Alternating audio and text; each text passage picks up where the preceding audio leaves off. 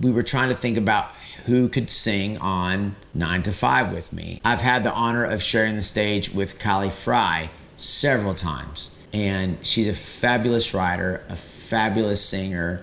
I mean, this little cowgirl with this huge vocal.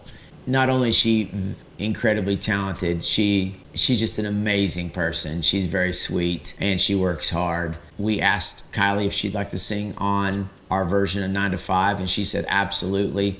She just blew me away with her performance. So I'm looking forward to sharing the stage with Kylie soon so that we can sing that song live 9 to 5.